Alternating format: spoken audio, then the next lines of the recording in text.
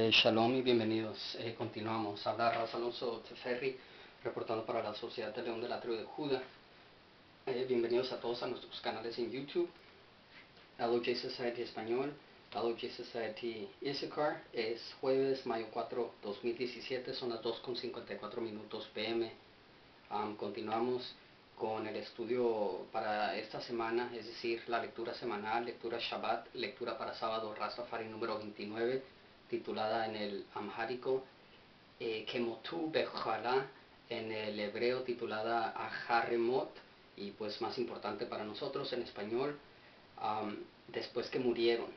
Ahora, sin, sin desperdiciar más tiempo, eh, suficientes interrupciones se han llevado a cabo, así es de que nos vamos a dirigir rápidamente a, al, pues, al punto principal de, de esta presentación, al menos con el que iniciamos, Felipe. Vamos a empezar con Felipe y para lograrlo eh, iniciaremos con la lectura dentro de Hechos de los Apóstoles, capítulo 21. Veamos aquí, capítulo 21, Hechos de los Apóstoles, eh, versículo 8.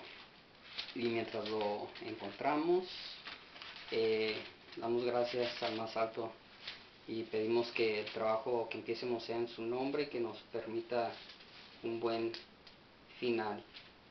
21 versículo 8. Y el mismo dice, vamos aquí, eh, y otro día, partidos Pablo y los que con él estábamos, vinimos a Cesarea, Cesarea, disculpen, vinimos a Cesarea, y entrando en casa de Felipe, el evangelista, el cual era uno de los siete, posamos con él. Cesarea. Eh, esto encontramos que este nombre de esta ciudad también aparece en, um, en Hechos de los Apóstoles capítulo 8. Eh, si no estoy equivocado, en el, en el último versículo, eh, versículo 40. Y tenemos Felipe, el, ¿cómo se dice? El tema común en ambos capítulos. Así es de que nos vamos a enfocar en Felipe por tan solo un tiempo, eh, un poco eh, por, un corto tiempo, para pues eh, establecer un mejor entendimiento acerca de, de, pues este este tipo que pues va a ser quien quien se encuentra con el, el etíope, el único etíope. Y repetimos, y otro día partidos Pablo y los que con él estábamos, vinimos a Cesarea y entrando en casa de Felipe el evangelista, el cual era uno de los siete, posamos con él. O sea, Felipe tiene casa en, Cesarea. Cesarea, recordamos que es, es en relación a, a, Sotos, es decir, el nombre antiguo de, de, Cesarea, antes de ser, antes de ser creo que destruido y, conquistado, el nombre era Azotos y, pues el nombre hebreo más antiguo es Ashdod. Entonces por un tiempo corto ahí estuvo el arca de la alianza, el, arca del pacto y estas tierras de los de los de los de los um, palestinos se podría decir. Entonces es necesario um, tomar eso en cuenta porque estamos en tierra palestina, al menos en el contexto de la escritura. Continuando, dice, y pues importante notar que él es uno de los siete. Ahora, dice, y este tenía cuatro hijas, doncellas que profetizaban. Interesante. Y parando nosotros allí por muchos días, descendió de Judea un profeta llamado Ágabo. Bueno, creo que con esto es suficiente. Él bueno, el versículo 16 incluso hace referencia a Cesarea y dice, y vinieron también con nosotros de Cesarea algunos de los discípulos, trayendo consigo a un Manazón Ciprio, discípulo antiguo con el cual posásemos. Bueno, habiendo eh, leído eso, ahora nos dirigimos a Hechos de los Apóstoles, capítulo 11. Y aquí tenemos por subtítulo eh, la iglesia en Antioquia, el nuevo nombre. Se dice que es la el primer mencionar de un nuevo nombre a estos que eran del camino. Ahora no vamos a entrar en detalle acerca del nombre, pero lo que sí podemos eh, expresar es al altar presentamos un sacrificio vivo, eterno, siempre en el estado revel- revelatorio, es decir, siempre transformándose a, mejor y a mejor y a mejor, así avanzar el progreso en nuestro camino a reconciliarnos con Jehová nuestro Dios y ser uno, como lo éramos, como lo debemos de ser y lo vamos a hacer, para siempre sin fin. Amén. Entonces es importante, eh, es importante entender que muchas veces lo que nos detiene es la costumbre, la tradición. El único error es cuando uno decide no corregirlo. Pero cuando estamos eh, duros y, eh, pegados a una cierta idea y no la podemos dejar ir, no podemos ser flexibles o blanditos y introducir y aceptar cambio. Entonces ahí es donde para el crecimiento y pues piedra nos convertimos, piedra sin uso y piedra sin movimiento, la cual eh, no hay vida. Pero hay que ser, pues, um, hay que ser vivos en, en, en, vivir, o sea, aceptando los cambios como el, el nuevo nombre, Rasteferri, cabeza a quien da reverencia, se ha demostrado ser, ¿por qué? Porque testifica que Jesús Cristo es el camino, la vida ejemplar, y esto es el, el testigo de uno quien en él es el Hijo, a través de quien en el Hijo nosotros somos con él quien es con el Hijo uno, es decir, la primera fuerza de la Trinidad, es Damawi Haile Selassie. Entonces, capítulo 11, versículo 19 dice, y los que habían sido esparcidos por causa de la tribulación, que sobrevino en tiempo de Esteban, anduvieron hasta Fenicia y Ciprio y Antioquia, no hablando a nadie la palabra, sino solo a los judíos. Y de ellos había unos varones cipros y sirenses, los cuales como entraron en Antioquía, hablaron a los griegos, anunciando el Evangelio del Señor Jesús. Y la mano del Señor era con ellos y creyendo, gran número se convirtió al Señor. Y llegó la fama de estas cosas a los oídos de la iglesia que estaba en Jerusalén y enviaron a Bernabé que fuese hasta Antioquia. Tendré que pausar porque creo que están tocando la puerta. Eh, quizás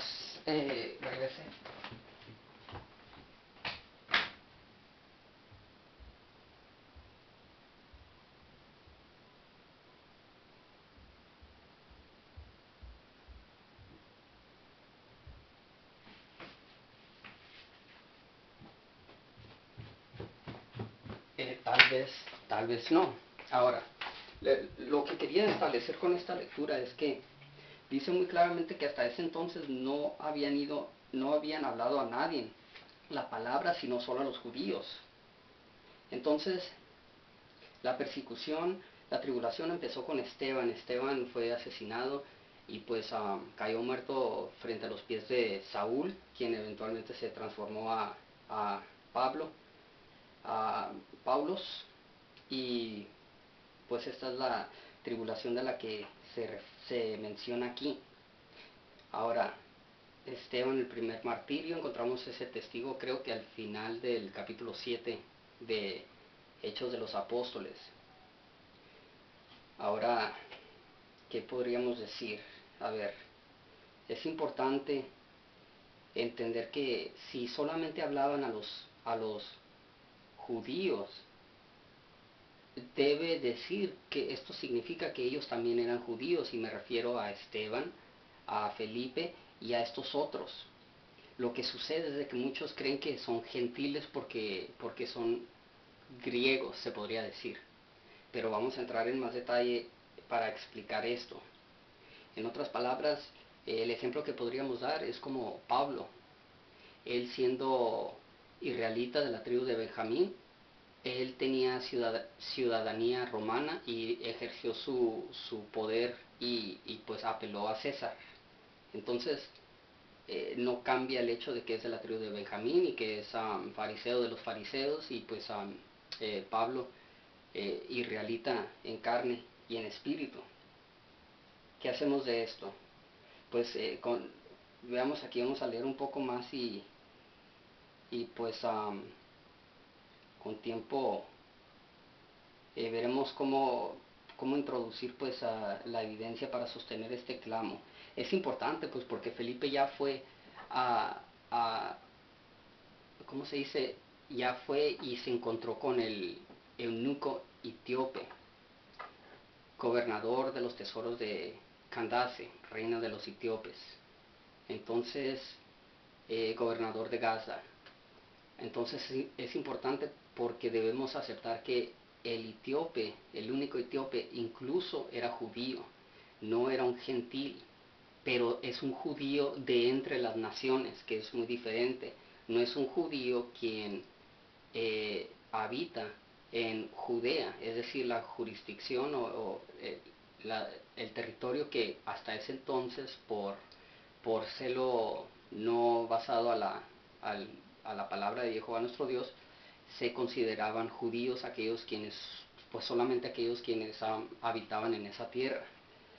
Pero no es decir que que pues así es lo que es, pues porque incluso muchos que no son, eh, el simple hecho que hayan nacido y crecido en un cierto lugar no afirma su estatus como judío legítimo. Igual aquellos quienes nacieron eh, fuera de las fronteras de Judea, no significa que, que eso les, les niega su derecho de nacimiento en nacer judío. Entonces, pues es, importante y yo lo creo ser así, por eso tomo el tiempo para hacer ciertos comentarios respecto a lo, lo dicho. Ahora nos dirigimos a Hechos de los Apóstoles capítulo 8, versículo 5, y este dice, entonces Felipe descendiendo a la ciudad de Samaria, les predicaba a Cristo. Bueno, eh, y para agregar a esto, nos dirigimos a Hechos de los Apóstoles, capítulo 6. Y aquí es donde vamos a, recibir un poco de, información que nos es útil para, para agregar a este tema. En aquellos días, creciendo el número de los discípulos, hubo murmuración de los griegos contra los hebreos, de que sus viudas eran menospreciadas en el ministerio cotidiano Así que danos nuestro pan cotidiano de cada día. Y estaban negando esto aquellos quienes estaban, al decir hebreos aquí se refiere a, la iglesia principal en Judea, en, Jerusalén, es decir, los doce apóstoles y pues la iglesia establecida allí. Vemos que los doce apóstoles estaban atrapados en, en las costumbres del judaísmo habiendo recibido y recibido a Cristo Jesús, pero todavía no, no eran libres de la ley como lo es Pablo, libre para andar por todos lados haciendo la voluntad de Jehová nuestro Dios sin preocuparse que, que Él está quebrando algún mandamiento. De hecho, yo digo, y le comenté a mi hermana que cuando Jesús Cristo le dijo, ustedes espérense aquí en Jerusalén mientras yo me, les aparezco o llego a ustedes. En el Espíritu yo recibo eso como permanezcan en shalom, en la enseñanza de shalom. Yeru, shalem, yarra, en, en la enseñanza de shalom, de shalem. En la doble enseñanza de paz, de tranquilidad. Habiten en mi paz, en paz con Dios, habiendo aniquilado o derrotado o sobrepasado la, enemistad entre, entre Dios y el ser humano, habiéndonos reconciliado a través de Jesús Cristo y su sangre que lo, a través de la cual fue derramada para que esto sea posible, habiten en, en shalom. Entonces, una persona atada a la ley quizás es limitado a la letra de la ley. Entonces, si la letra de la ley dice, habiten en Jerusalén hasta que yo venga a ustedes, eh, una persona esclavizada a la costumbre, a la tradición y a la letra de la ley, está imprisionado, está encarcelado, está amarrado y atado a tener que permanecerse en un lugar donde haya un letrero que diga Jerusalén.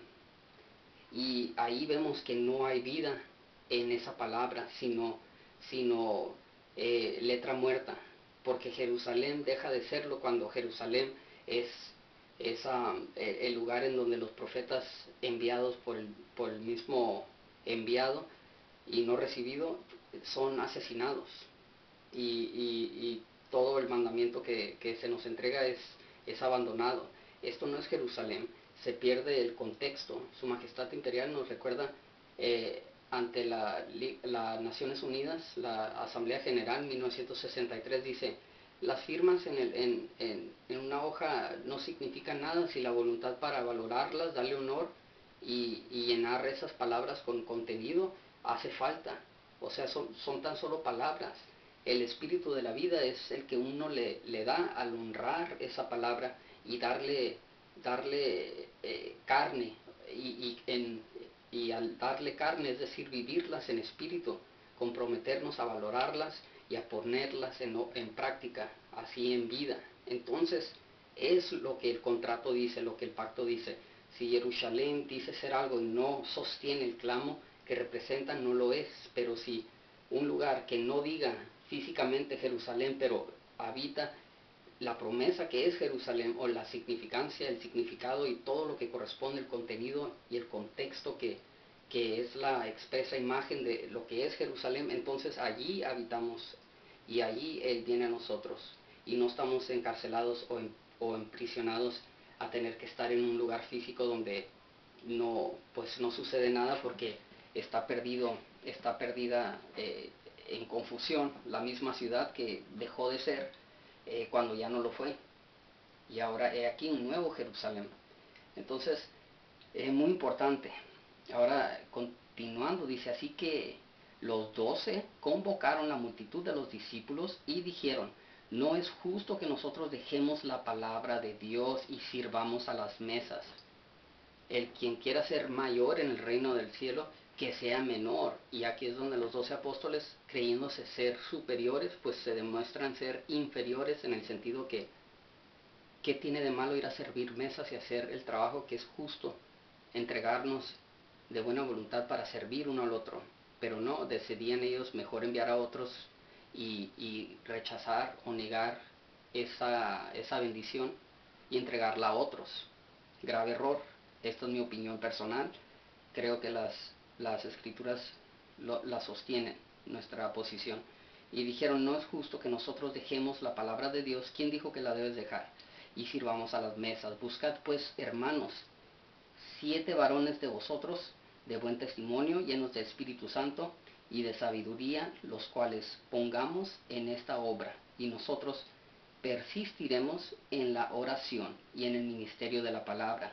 Y pulgó el parecer a toda la multitud y eligieron a Esteban, varón lleno de fe y de Espíritu Santo, y a Felipe, y, procuró, y, a Prócoro, y a Nicanor, y a Timón, y a Parmenas, y a Nicolás, proselito de Antioquia.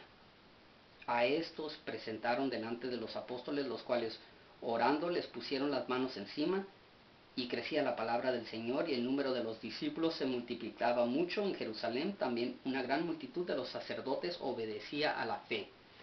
El hecho que les ponían las manos encima y oraban sobre ellos significa que son judíos en carne y en espíritu. Son llenos del Espíritu Santo, son llenos de fe. Estos son judíos, pero vean como los siete que fueron elegidos tienen nombres griegos. Entonces son quienes pues crecieron quizás fuera de, Judea, pero son israelitas eh, eh, descendientes de, en la carne también pues.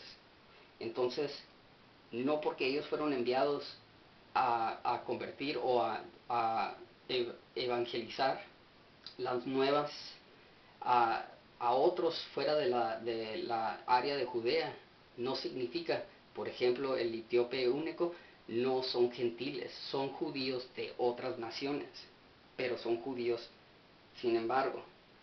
Ahora, en la significancia de la palabra hebreos, en, en, el, ¿cómo se dice? En el griego, significa todos los judíos cristianos, ya sea que hablen arameo o griego, pero palestinos, en la área de Palestina habitan.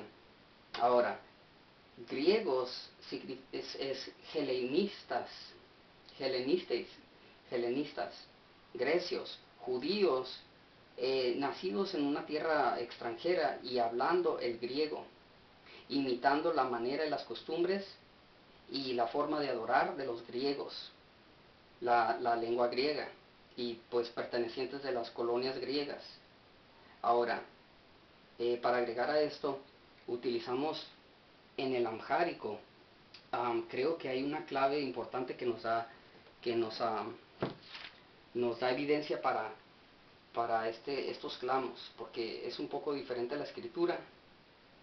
Hace mención de algo más. Dice, Werrat, y ya lo hemos introducido, Bezihem Werrat de Kemes Amurt, Eye Bezu Sigedu, Kegrik Ager, Kegrik de, la, de griega, Ager, la tierra del país de griegos, Kegrik de Ager, país Greek, griego.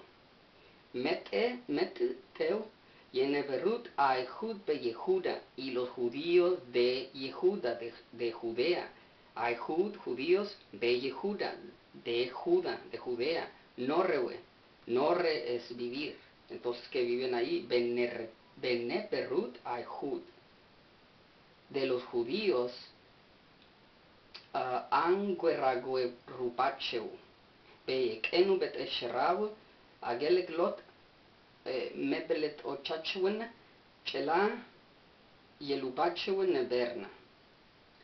Entonces Asher Juletum de Kemezamurt, los Asher 10, Juletum 2 múltiples, 12, en otras palabras, de Kemezamurt, los, los, los, los apóstoles o discípulos, Julum, todos, y Terpewe, llamaron en Dig, al Luachem, y pues, um, y a la palabra, que tengan toda la palabra, y bueno, el punto es que en el amjárico tenemos testigo a, lo que sucede. Lo que pasa es que aunque se hayan convertido los, los grecios, los griegos, judíos griegos, a, la fe cristiana y, que, eh, o sea, no perdieron eh, la identificación como, como griegos, pues pero pues eh, la evidencia es clara, son judíos. vamos a pausar. Eh, shalom.